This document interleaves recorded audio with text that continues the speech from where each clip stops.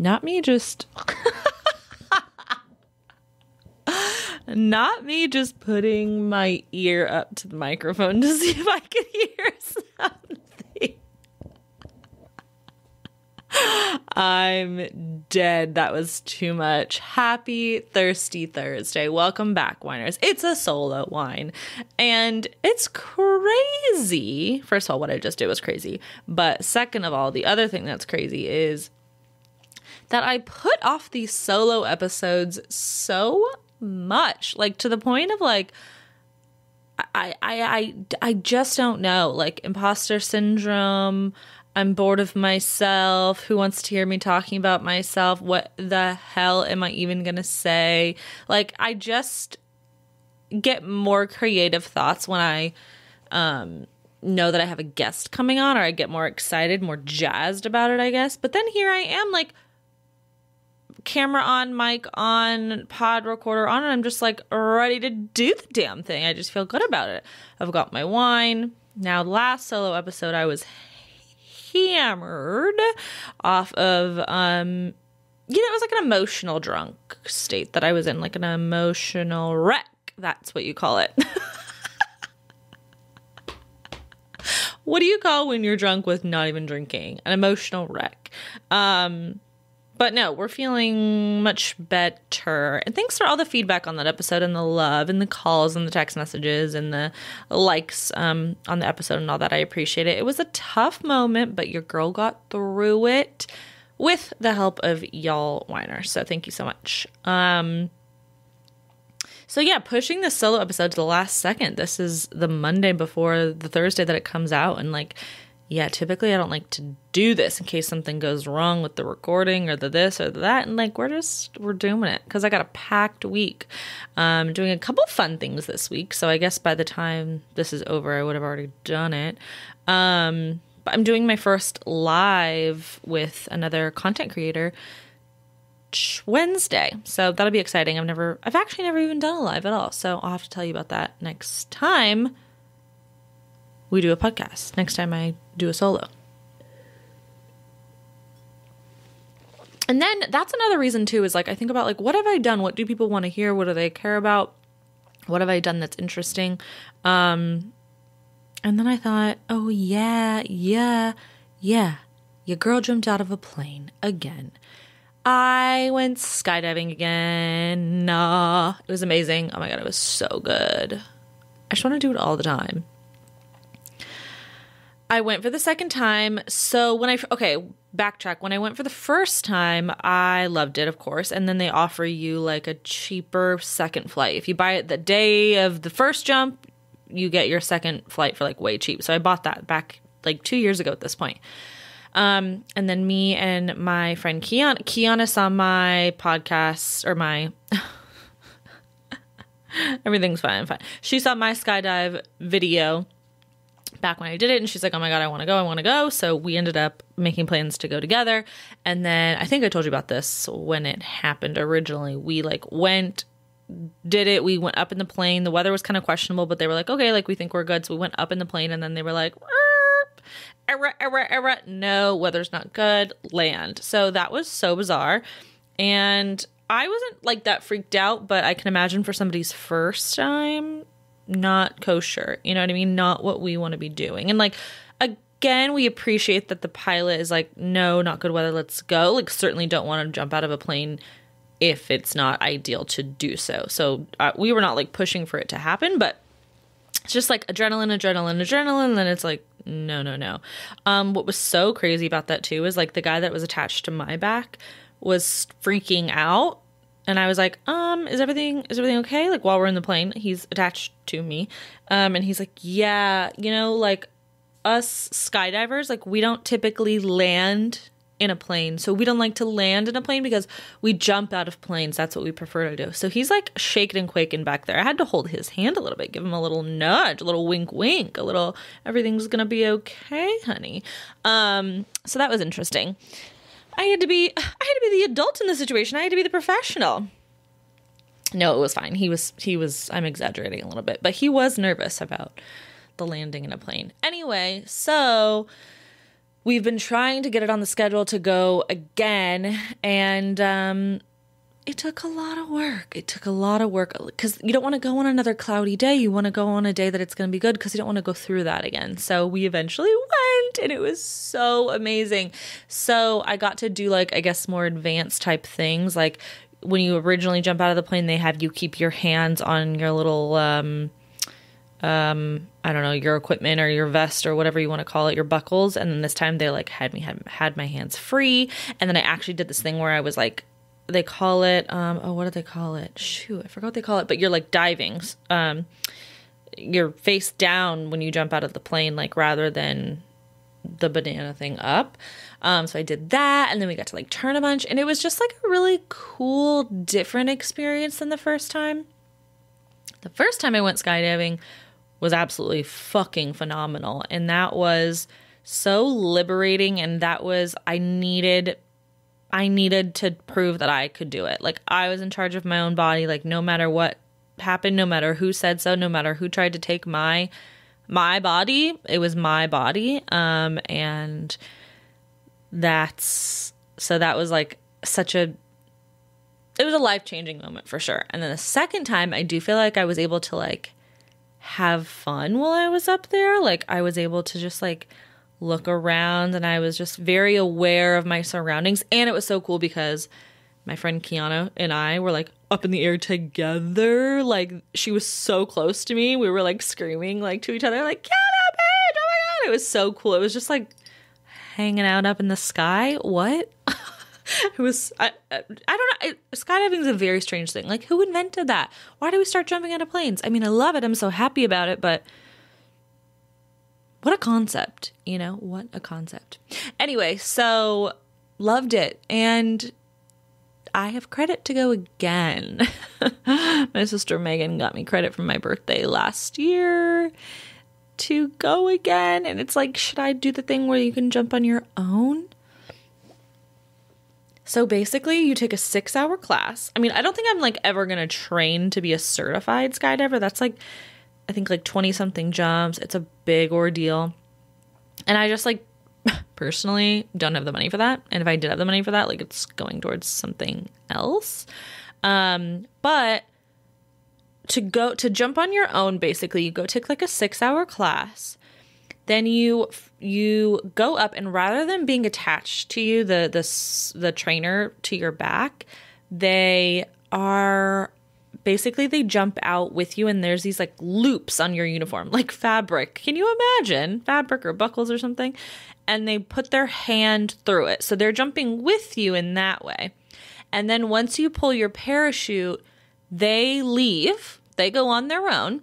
And you're left with just a walkie talkie and so then they're directing you on your whole i don't even know how long are you up there? Five minutes? Six seven eight minutes they're directing you like, er, go to the left. Oh, no, come back more to the right. Okay, we're going to land soon. And I don't know, like, just seems, it seems excessive. Like, you're really taking your life into your own hands there, but like, why not? You know what I mean? Like, why not just risk it all?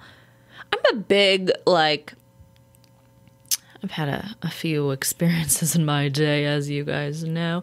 I'm a big, uh, if I'm gonna die, then let it be. Like, I never want to, like, uh, have I cheated death? I don't want to say that if I haven't. No, I don't. I don't think I've technically cheated death. But like, I don't want to cheat death. Like, if it's my time, I'd rather go. So like, why not get out of like do it out of a plane? You know. Like if that's going to be the way. I would never want to do it above water though because drowning, that's not I would want to cheat that. If I knew I was going to die drowning, I'd like never go near water again. that's just it's just not how I want to go. Um okay, enough about jumping in death. Um oh, actually, speaking of 911 I a few a few weeks ago, I'm still thinking about this person I called um 911 for. So a while ago, I had to call the police department about something, and it was like quite ridiculous to get a hold of the police department on a non emergency line. I don't know how to describe it, but they were just like, oh, like they're okay, uh, they're closed. So they, it was connected over here, and like try this number, but they're closed. And like, okay, well, and I was like, I'm just trying to get a hold of somebody that was for like a left backpack, and I, I don't.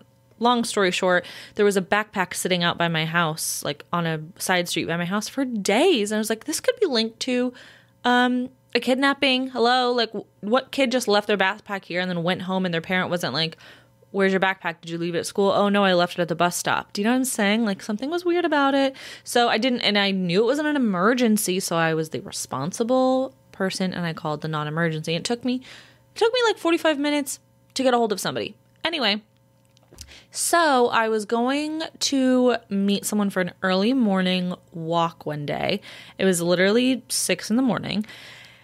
And I ended up like not getting on the freeway. I went side streets and I didn't realize that it doesn't connect to the side street I needed, blah, blah, blah. So I'm going through all these houses. And as I'm pulling up, you know, just talking to myself, as I do, as any normal, very normal person does, talks to themselves, I'm pulling up. And as I'm pulling up to this like intersection, I'm like saying out loud, I'm like, ugh, what a douche. Look how terrible he parked. You know, like you could tell that like this was a douche parking.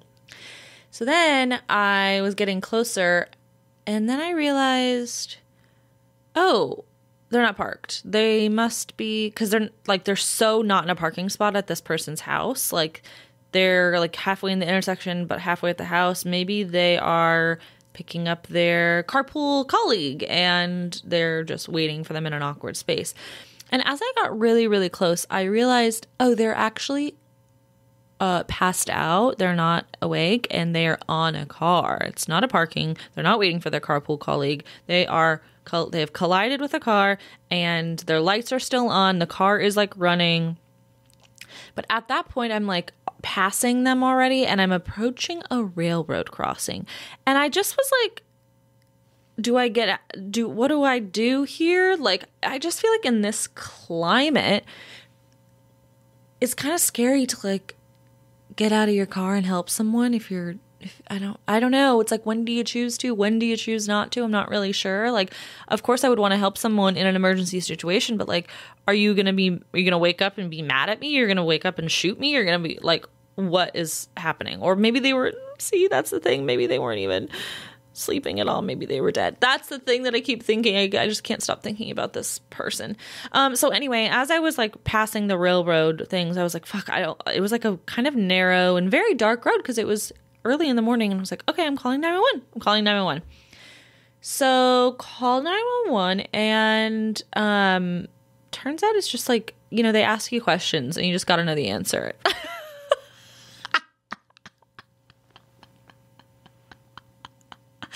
And I just I just didn't know, you know, like 911 what's your emergency? Like do you need what was it? Fire emergency or rescue or something? And I'm like, emergency? rescue?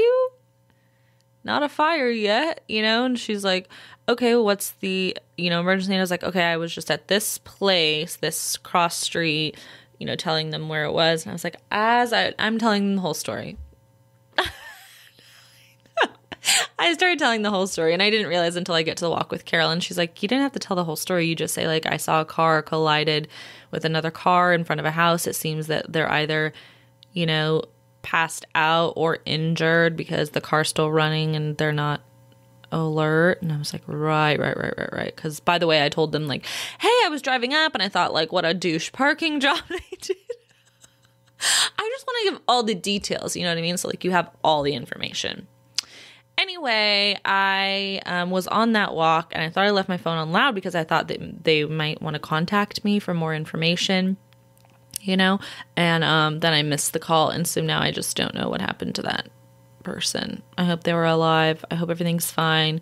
And then I'm like, oh God, like it was probably just a little doze off from a little drinky drinky, which is so so bad. I'm not saying just as in it's okay, but I'm like, maybe they would have just woken up and been on their way, and I caused a big hullabaloo. But if you think about it, the car and the house that they were the car that they were like collided with like what if they woke up and drove off and then it was like a hit and run and they the person who owned the car didn't know who hit the car So I think I did the right thing. But anyway, I'm just like, I'm just worried, you know? I'm just really worried. Oh, and then two things, two ridiculous things almost happened to me. One did happen, one almost happened to me, but two people tried to quit me, if you can believe that or not. Two people tried to break up with me, and one succeeded. Leaving my therapist's office a few weeks ago, she's like weird, silently like following me to the door, which she never does. And she like is like, "Oh, I'm gonna walk out with you. I'm leaving." I'm like, "Well, this is awkward. I've never ridden the elevator with my therapist before. Like, our session's done. Now, what am I supposed to do? Create small talk with her? Like, how was your weekend? uh, any travel plans? What are, what are you up to? You know, like, I don't know how to be a real human with her.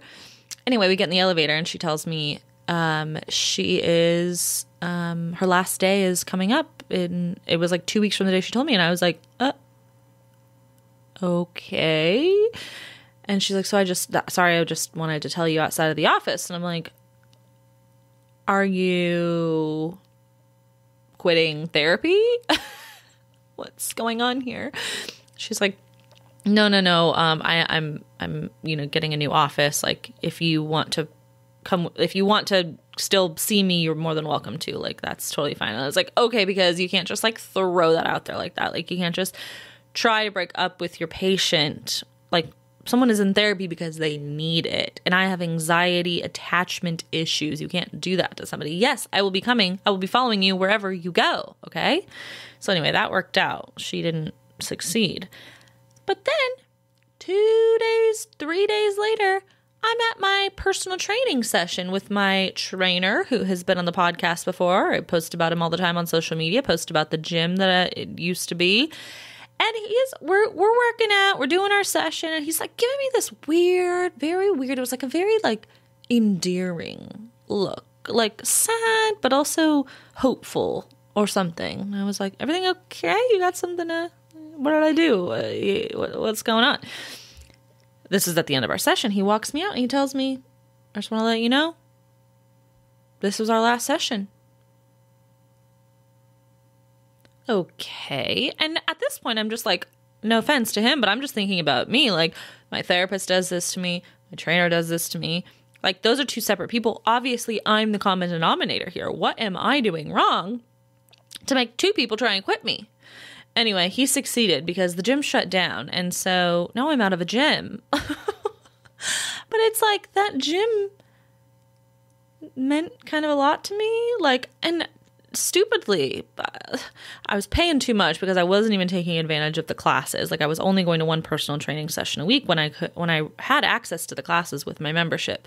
But it's like as you guys know and as i've told you before like i joined that gym at a time in my life where like i needed so many things that that gym and the people that i've met through that gym gave me. Like let me just I didn't plan on like going too far into this, but like I think it's only right. I joined that gym after I was trigger warning sexually assaulted and raped. And I needed to feel I also went skydiving after that moment. So or made the choice to go skydiving after I did that. So you, I guess that means a lot to me. Um but I joined that gym. I needed to feel strong. I needed to feel confident. I needed to feel in charge. I needed to feel I needed to feel my body doing something worthy. I needed to be around other humans. Um, that was a time where I was like still podcasting at my kitchen counter and I was like kind of homebodying it. Like I just was going through a pretty depressive moment. And so that gym it was such a fun gym. The first class I went to was like DJ. They had like Thursday night R and B night, so it was like a DJ there and the music and just like everyone was so nice and welcoming, and it was you could feel like the sense of community and the passion that the trainers, but even like the the gym goers um, had, and just like the love that was there. So I just immediately, I mean, I signed up that day. Um, and then beyond that, like my trainer Jared or JC is the Poor Horseman podcast. He's also on the Poor Horseman podcast, and we've talked about him in that capacity as well. Um, but him and I just like got along, got close. I was introduced obviously to his wife, Kiana, who was the one who went skydiving with me, and the connections that I've made through them because like just out of the goodness and kindness of their hearts and like just like no gatekeeping, just like yeah, I see what you're doing. Like, oh, I saw this person you might be good to connect with. Oh, I saw this was happening. Like, I thought you might want to be invited there. Just like great fucking people. Um so that was this kind of like I think it served its time for me, so I'm I'm fine about the the gym being canceled and now I'm a ClassPass girly um so far, which I'm loving and I'm actually like I'm working some muscles that like my trainer was not working before. Like what are these obliques that they have me doing for 20 minutes on end at the solid core class I'm doing? It's crazy. Um but anyway, so I kept my therapist, but my trainer's gone. Gone, gone, gone. Um, still in contact with him, of course, especially because of the podcast, and then I'm friends with his wife, and um, again, more people that they've just connected me with. So, those are kind of like the um, main topics of the things that I've been doing, like work, schmirk, been doing that. Um, sales is hard though. They don't always tell you that, or maybe they did, and I didn't listen because it's not easy. Quarter one was a beast. And it's like, I got bills to pay, you know? Lots of bills to pay. So besides that, what else? What else was I going to talk about? Um, oh yeah, it is I'm doing the Move Your Body Challenge every day. It's going pretty well. So I'm filming this episode. I'm on day 43. I haven't missed a day. Now, those have been, some of them have been stretching moments. Some of them have been like leg on fall wall, like when you lay and put your feet above your heart. Um, some of them have been walks. I've been trying to jog slash run Pilates, weightlifting while my gym was still open. It's not anymore. Um, so it's been a mix of things, and it has just become part of my motherfucking routine. It's crazy. Like, I will look ahead at my week and it's like, okay, I've got this and this and this after work. So I better get up early and do this, this, this before. Like, I'm gonna get that workout in. Um, and it feels pretty good. It feels pretty natural. I can say that I haven't had a whole lot of like joint and hip pain or pain in my joints, like regarding my hips, in a couple weeks. But I also haven't like tried to do like a full out run, which is the thing that like the reason why I started this challenge was like, oh my god, I tried to go on a run and my hips were like, fuck off. So I, think it's time to try that and see. But I'm gonna warm up to it. I want to do like you know, maybe run two minutes one day, three minutes the next day, four minutes the next day, like gradually go into it and see if that helps. But yeah, I'm feeling good about that. Um, the other thing I'm doing, the other challenge I'm doing, which like I guess I'm like big addicted to challenges right now. So anyone else got one for me? Like what are you guys doing? Um Oh, and that's another thing too is like I'm posting every day on my personal social media like that I'm doing it like day 40, day 41, day 42, day 43, move your body alert, da da da.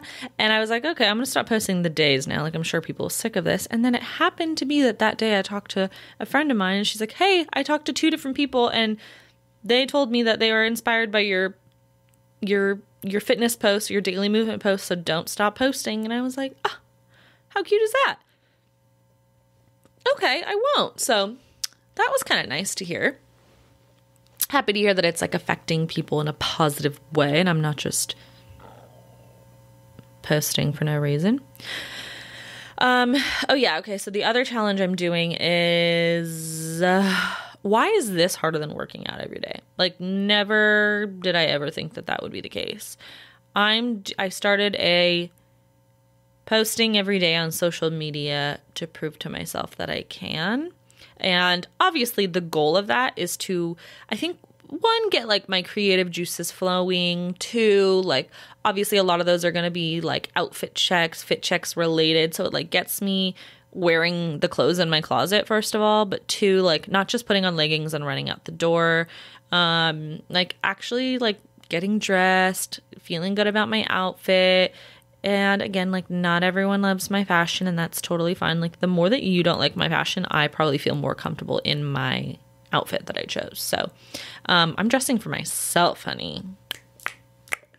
Um, but the content, like with these content creators, they talk about like batch your content, like they are not lying, girl. They are not lying. Like I need to spend like a weekend and just like outfit, outfit, outfit, outfit, outfit, record, record, record, edit, edit, edit. Because I think about if you think about how much time it takes, like it's not for the week. It's a process. And then I'm fully surrendering to the algorithm social media game. It's like post longer videos. They're telling you make sure to post on threads. Like i need more engagement. Like i'm getting all these i'm getting all this engagement but like no one's sticking around type of thing. So you know it's like a science. And here's the thing. Like i just told you some benefits to the posting on instagram every day challenge i'm doing but like let's be real. The goal is to grow my following.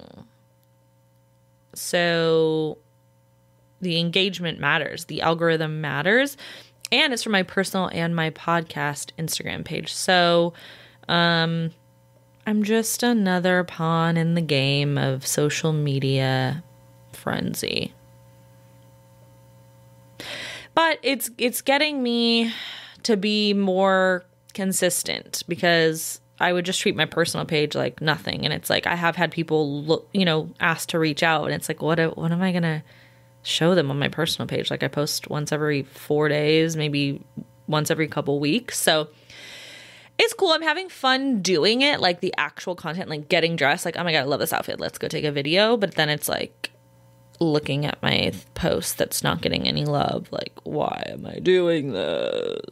Why am I doing this? You know? So that's a process. Can't believe that's harder than working out every day. I just never thought I'd say that a day in my life.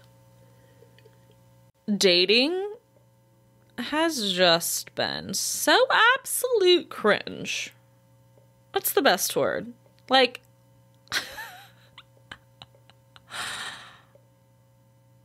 I, I, I'm just speechless over it. Like, I just don't know what to say. I have no excuses for how some of these people act, talk, do, participate in this thing called life that we do.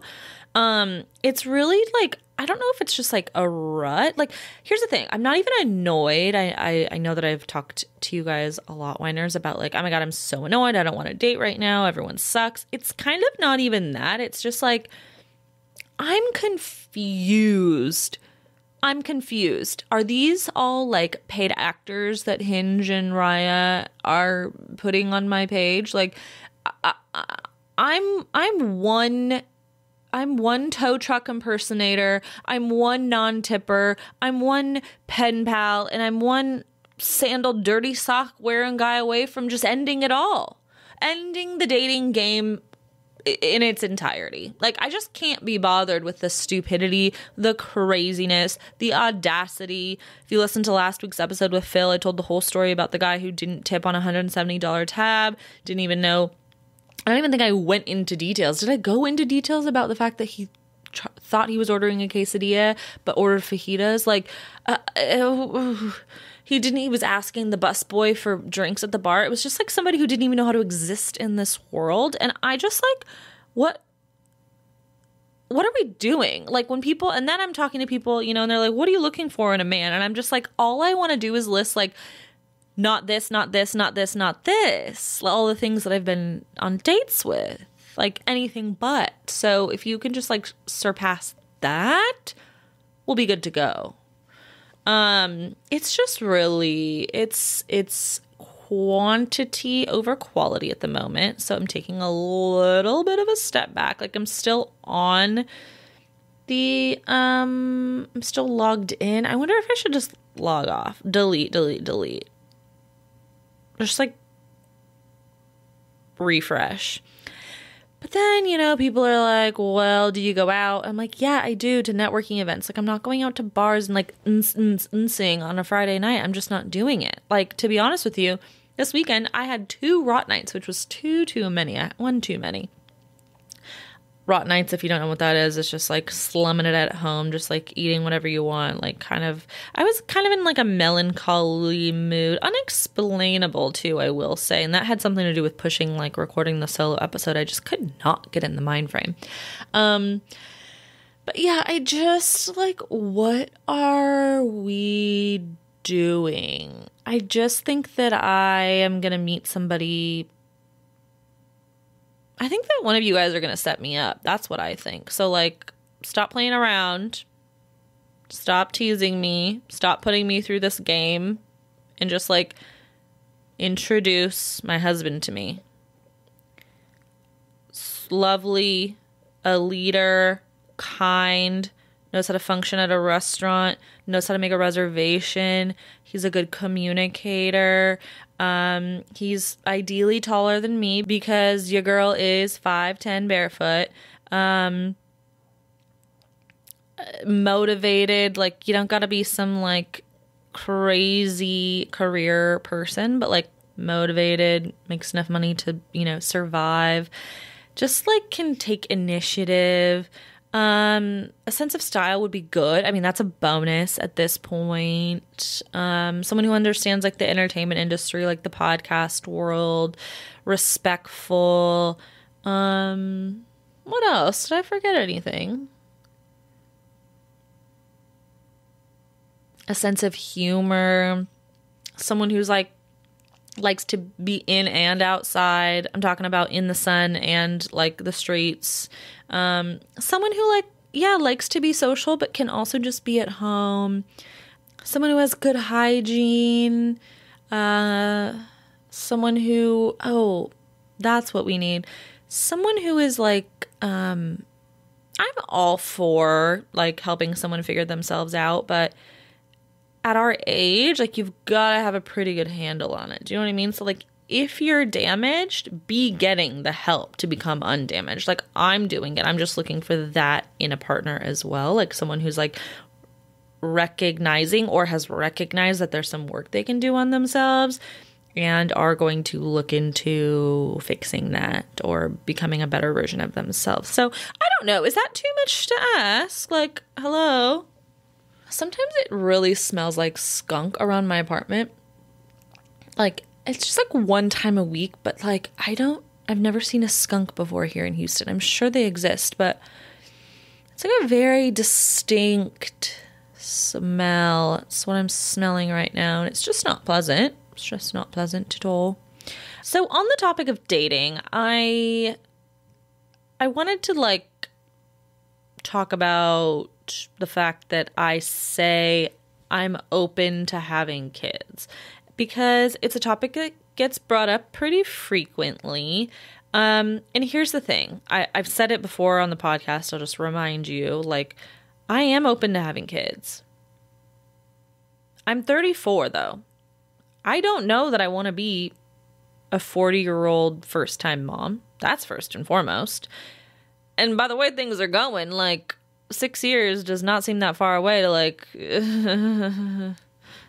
the way that things are going is just like it's treacherous out here y'all. The streets the sidewalk the air it's dangerous. These boys woo gee um anyway i digress. Um i just I, I don't know that i want to have a kid immediately with somebody and by the time i meet that somebody like it seems pretty immediate. One. Two if i'm like madly in love with that person i've said before you need to be um, we need to be financially stable. Like, I don't, I grew up poor and I don't want to be poor with a kid. Number two, I want to be madly in love with my husband and like our relationship comes first. So, how am I going to know that right away? Like, that's going to take time to make sure that for the third reason why I won't say I want a kid or I want to make sure is that you are an active dad. And maybe this is like because of my trauma and my past, but I haven't had like too many good role, good male role models in my day. I mean, didn't have a dad in my life. My grandpa was a uh, like an amazing man. Like never saw him. He was amazing, absolutely phenomenal. But like, like we like there was just no example of like love there, like that I saw with him and my grandma. Um, like he would just like, you know, she would cook the dinner and he would eat it and say thank you and my grandma would do the dish. I don't know, it's just like very old fashioned too. It was a different time, different age group, but um you know, I've had a couple others like my friends um husbands I've seen some I love part of part of their relationship and some I'm like, "Oh, I wouldn't want that in my relationship." Like same thing with my sister's relationships. There's been things about their partners where I'm like, uh, wouldn't do that. Don't want to do that. Love that. So also like it may seem the way I'm talking that I'm looking for some sort of perfection. and I am. Just kidding. I'm not. I'm not looking for perfection. I'm looking for vulnerability, openness, and um oh, the thing about the kids is like you got to be you got to want to be involved with the kid. If I'm having a kid with you, like this is sure like maybe at some points I'm going to be doing 80, 90, 100% of the work, but like you're pulling your weight on another whatever that is. Like one of my biggest pet peeves is a man saying like something along the lines of like, "Oh, I can't go. I have to babysit my kid tonight." It's like I can't believe you just said those words. Can't believe you just said those words. You have to babysit your kid tonight.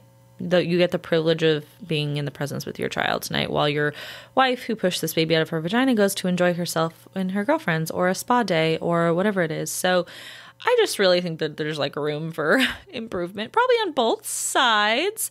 Um, and I haven't heard too many like n- really not a lot of like the close people close men that I know have said those words, but I just like, you know, you see on TV and stuff too, and it's like, no, I'm not down with that. Like, I waited a long time to enjoy my life and to become like well myself. Like, I didn't even start dating until how old? God, I don't even know.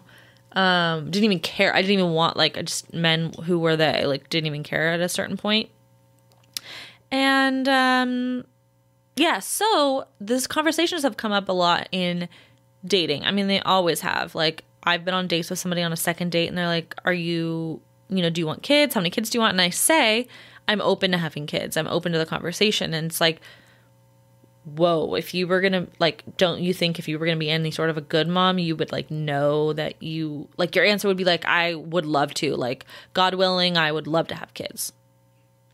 No. And if you can't understand that, if you don't accept my answer, then, like, we certainly don't have time to figure out if you can. Like if you're in that big of a rush, you know what I mean? Like go, go, go, go. We should not go on another date. Now, I have been on dates with people on first dates, and I've been like, oh my God, love this guy. I totally want to have his babies.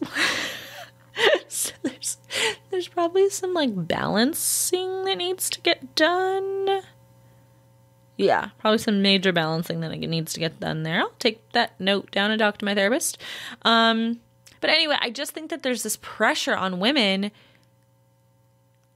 to just, first of all, yeah, I want kids. Like you just expect some a woman to be like, yeah, want kids, can't wait. Like, why don't you have kids yet? Oh, because of X, Y, Z. It's like because life be life in.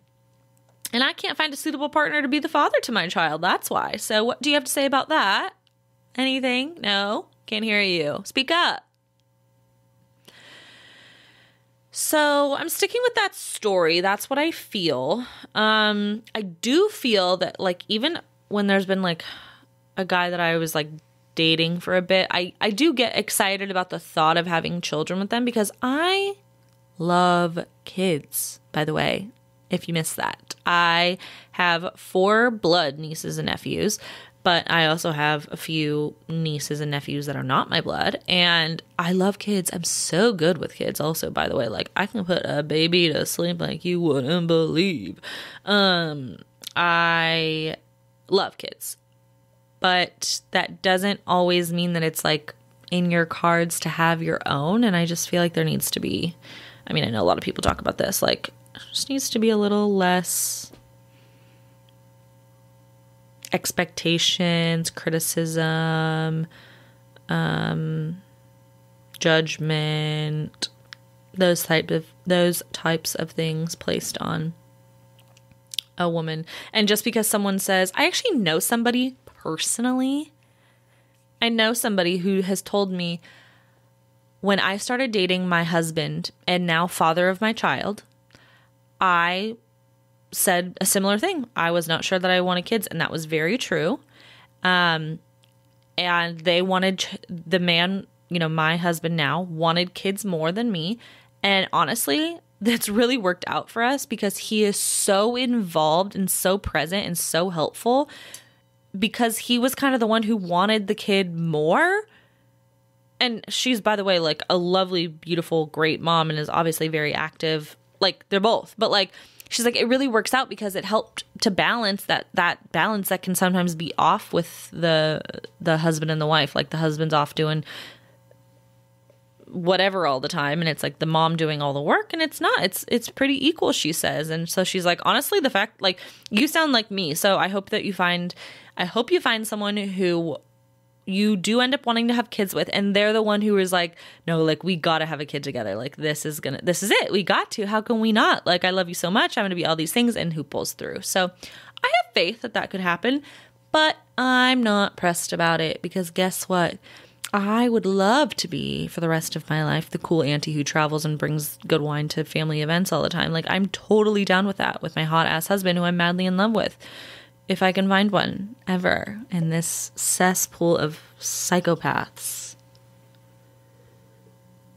I don't know what time I started. I don't know how long this episode has been, but um oh, my wine of the week.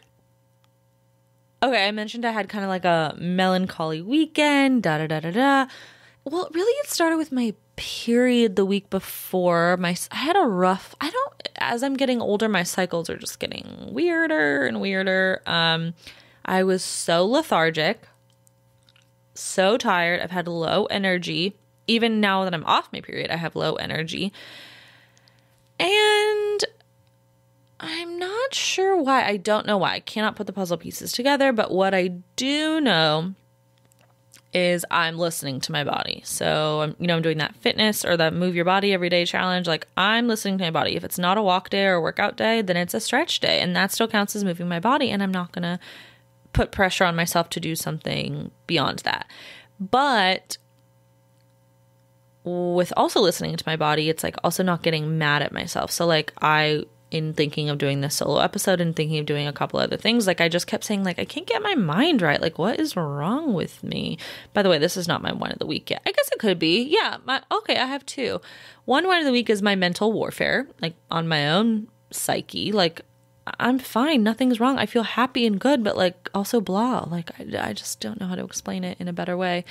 But anyway, I had those two rot nights I mentioned. And so one night I ordered DoorDash. And can you guys believe this is my second wine?